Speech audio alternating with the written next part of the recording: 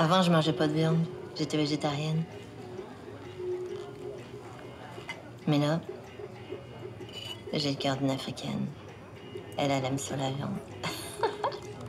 Santé. Santé.